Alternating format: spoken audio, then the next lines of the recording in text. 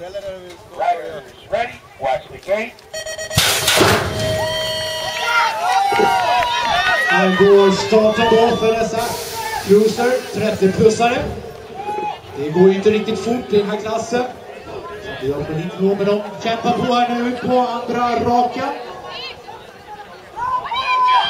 Och det ser ut som att det är Katarina Lindfors som har tagit en ledning. Och hon ringer nu andra kurvan ut här då. Ut på tredje raka. De kämpar på de här. Och så börjar de närma sig nu då tredje kurvan. Cruiser 30-plussarna. Ut på målrakan här. Det går fort det här. Nu börjar de närma sig målet. Och där har vi då de med mål.